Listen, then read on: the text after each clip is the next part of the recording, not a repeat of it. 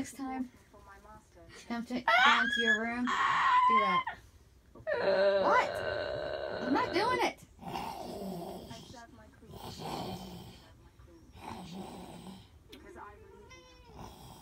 If you want to steal